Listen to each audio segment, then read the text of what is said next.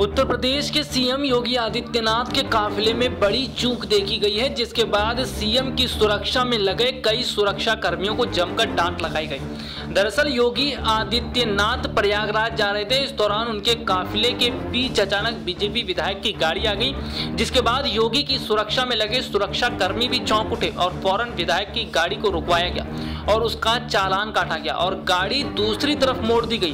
वैसे आपकी जानकारी के लिए बता दें, ये पहला मौका नहीं है जब इस तरह से योगी के काफिले में इतनी बड़ी चूक हुई है। इससे पहले भी इस तरह की खबरें सामने आई हैं कि योगी आदित्यनाथ की सुरक्षा में बड़ी चूक देखी गई है और उस दौरान भी योगी आदित्यनाथ ने अपनी सुरक्षा में लगे सुरक्षा कर्मियों को हटा दिया था और कई अधिकारियों को डांट भी लगाई थी।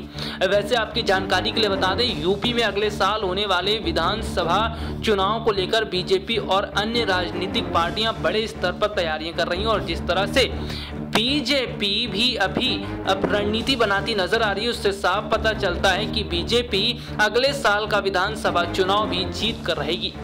S P nine news room की रिपोर्ट।